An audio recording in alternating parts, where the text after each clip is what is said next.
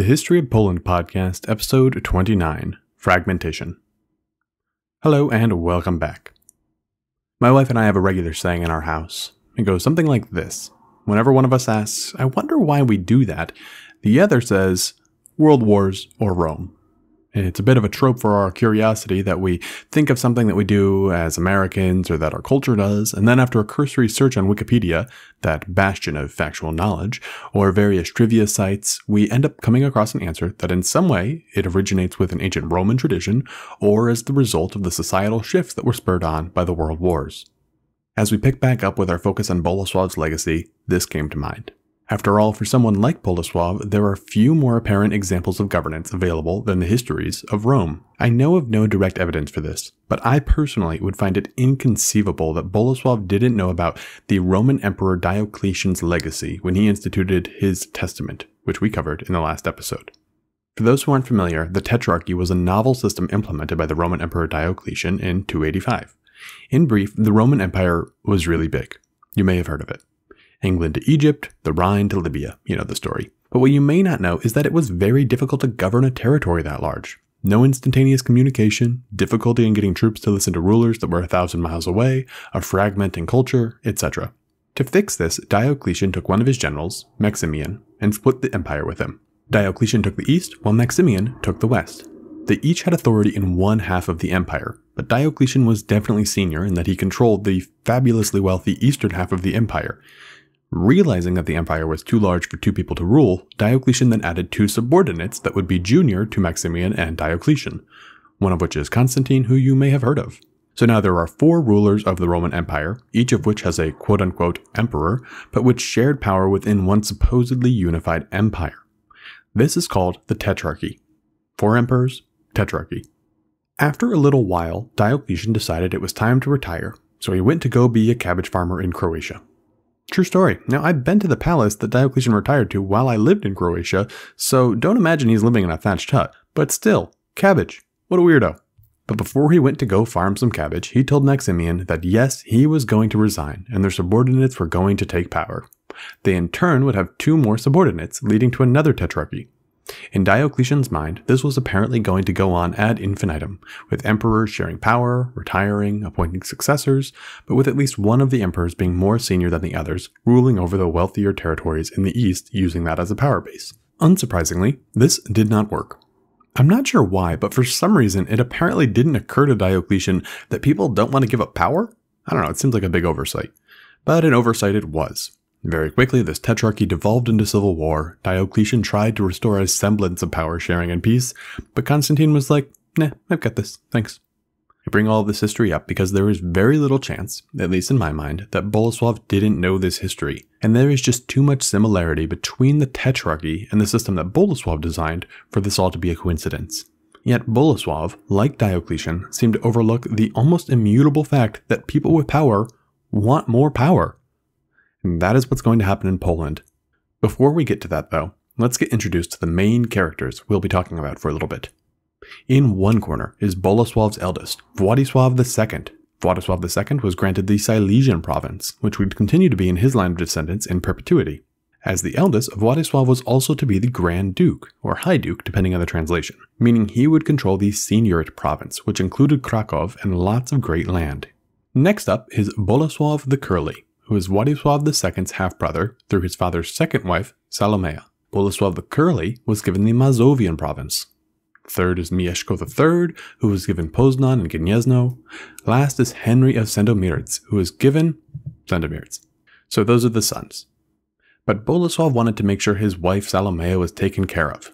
As a result, he carved off a small chunk of land from the Seniorate province and granted them to Salomea.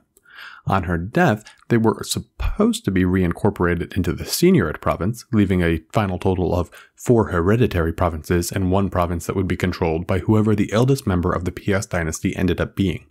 Now, Salomea didn't seem to like Władysław very much, and the feeling appears to have been mutual. Which is fine, you know, it's his stepmom and it's her stepson, so, you know, to each their own. But Władysław did seem fine to let her ride out her time remaining and let her die, only taking her lands after her death. Whatever the intentions were, though, that is not what happened. Now, I'm not totally clear on the timeline since sources seem to disagree, but either shortly before her death or immediately afterwards, it became clear to Władysław that his half brothers were all plotting to keep that land separate and to create a whole nother province, which would be given to others of their family. Yes, Bolesław had a lot of sons. Władysław didn't like that much, so he moved troops into that territory and secured it for himself. Now, technically, according to the testament of Bolesław, that was fully within his rights to move troops around in any of the provinces of Poland. As Alexander Gieysztor tells us in the history of Poland, quote, the Grand Duke took possession of her lands and immediately came into conflict with his brothers, who hastened to the defense of the expected inheritance of the two youngest dukes, Henry and Casimir. Continuing on, Gieysztor tells us that this disagreement led to a full-on rebellion slash civil war slash foreign intervention. Quote, the first trial of strength demonstrated that neither the compromise devised by Bolesław of the Wrymouth nor the restoration of the monarchy were feasible. Władysław II, secure in the feeling that his brother-in-law, the German King Conrad III, would come to his assistance, tried to unify the state at the expense of his brothers. The centrifugal forces reflected a certain course of historical evolution and, as in other Eastern and Central European countries, led Poland inevitably to feudal disintegration. This feudal disintegration is also called the fragmentation of Poland in many history books. And just to give you a heads up, it is a mess to keep track of. Not only does everyone have the same names, but it's also one of those periods of time where a lot of stuff is happening, but very little is changing. One of those Bolesław attacked Mieszko, who turned to Władysław, who had married his daughter to the emperor. Bolesław lost, but then switched sides. Mieszko betrayed Bolesław, but now the Pomeranians are rebelling, etc., etc., etc. Repeat that 100 times, and you have a good sense of what the next 100 years are going to be like. Which raises an interesting question for this podcast. Do I want to get into the weeds and confuse everyone by describing in excruciating minutia what happened? Or do I want to share the gist of what happened and play through this time in Polish history at 2x speed? I'm leaning a little bit towards the second. After all, doing anything else would feel a lot like describing every time a group of soldiers went over the top of the trenches in World War I. Sure, it would be accurate, but it would also be nauseating to listen to for very long. Anyway, we'll at least get into the details of this first set of wars. As noted, Władysław and his half-brothers were fighting over the territory that Salomea had been residing in. This was a low-simmering conflict, and there were supporters on both sides. Some magnates and nobles sided with Władysław as the Grand Duke, while others supported the half-brothers in their attempt to throw off Władysław's rule. One of the notable groups involved in this struggle were the forces of the Kievan Rus. Originally, the influence of the Rus was a bit of a jump ball, with the support just as likely to go to Władysław as it was to the younger brothers. Eventually, however, Władysław outnegotiated his half-brothers and intermarried his family with the Rus.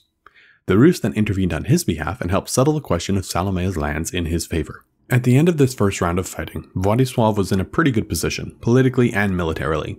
He was the senior duke, he had just defeated his half brothers with the help of the Rus, and he has allied with both the Empire and Bohemia. In such a position, it should come as no surprise that Władysław pushed his advantage and continued to butt heads with his brothers, which occasionally spilled over into open conflict. Not everyone was willing to see Poland thrust into a bloody civil war, however. I mean, a lot of people were still alive who had lived through the wars between Bolesław, Zbigniew, and their dad, so it's unlikely that everyone was clamoring for that to happen again. Of the people who tried to at least seemingly push for peace was Pyotr Włostowic. You may remember him as the chief counselor of Bolesław III.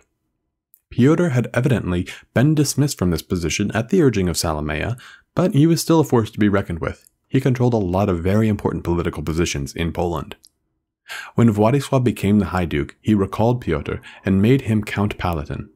They started out on decent terms, as evidenced by the fact that Władysław was not forced to pick Pyotr but did anyway, but that did not stay the case for long.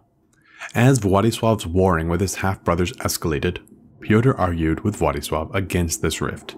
He argued that Władysław should abide by their father's wishes, and that everyone should return to their own corner. At the same time, Pyotr was also in communication with the band of half-brothers and was secretly supporting their cause. Not to the complete detriment of Władysław, but at the very least to the weakening of his central authority. One person who did not appreciate this turn was Władysław's wife, Agnes of Babenberg. Agnes, daughter of the Margrave of Austria and the granddaughter of Emperor Henry IV, wanted her husband to push harder against his half-brothers. In addition, she evidently didn't think much of Pyotr and convinced Władysław to dismiss him from his position as Count Palatine. As the conflict continued to spiral out of control, Pyotr didn't publicly come out in favor of any one side. Yes, he did seem to intrigue on the side of the half brothers on the question of Salome's lands, but it was hardly an open declaration of war. Instead, he used his influence and popularity to try to convince everyone to stand down. Everyone could make some minor concessions and things would return to normal, which would have been fine for Pyotr because he had political positions in all of the territories and a lot of influence in all of them, so he would have ended up as a very powerful broker. Agnes and Władysław had been observing this nature of Pyotr to put himself in the middle of things, and at Agnes's prompting, Władysław ordered that one of his knights capture Pyotr. Upon being captured, Agnes then asked Władysław to kill him.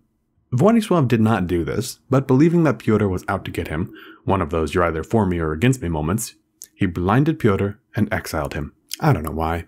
But for real, some people do not learn from history's mistakes. I mean, yeah, Pyotr was intriguing against Władysław, but blinding him was a bit of an overreaction. Not to mention that Władysław had solid allies, had defeated his half brothers, and controlled the best lands in Poland. But, much like his father before him, Władysław soon learned that you shouldn't just randomly blind people, especially if those people are more popular than you are and are respected by nearly everyone in Poland. But Władysław didn't know that, and Pyotr was blinded. As a result, many of the undecideds, you could call them, turned against Władysław and supported his half brothers in trying to overthrow him. In addition, if he wasn't before, Pyotr was definitely opposed to Władysław now. Nothing creates an enemy so quickly as burning slash plucking their eyes out. Pyotr, still alive and influential, headed off to the Rus and consulted with the leaders there. Kiev had been a supporter of Władysław up to now, but Pyotr convinced them to switch sides. So yeah, blinding him was a really big mistake. I hate to say it, but Agnes may have been right. If you're going to do something to him, you might as well kill him. At least then he can't go and be an advocate for your half brothers. But Władysław did still have the support of the Empire in Bohemia. But that wasn't enough. Eventually, the brothers came to blows once more. In 1146, only eight years after the death of his father, Władysław went off to war against his brothers. It's not clear what his aims or endgame was, but in the end it didn't matter. As he gathered his troops for an invasion of Mazovia, Władysław was shocked to discover that his subjects were rising up against him. In addition, he was excommunicated from the church by the Archbishop of Gniezno, likely in retaliation for the blinding of Pyotr, and was now on the ropes. Władysław and his brothers faced off in Poznan at the beginning of 1146. Władysław was utterly defeated. He retreated to Bohemia to take refuge and earn the moniker of Władysław the Exile. Having now lost his standing religiously, politically, and militarily, Władysław never regains power. But he does remain a thorn in the side of his half brothers. The long and short of it is that Władysław was the guest of the Holy Roman Emperors for a few years, during which time his half brother, Bolesław IV the Curly, became the Grand Duke of Poland and consolidated his power. Continually asking his German and Bohemian friends for their support in regaining a seat of power, Władysław was not especially effective.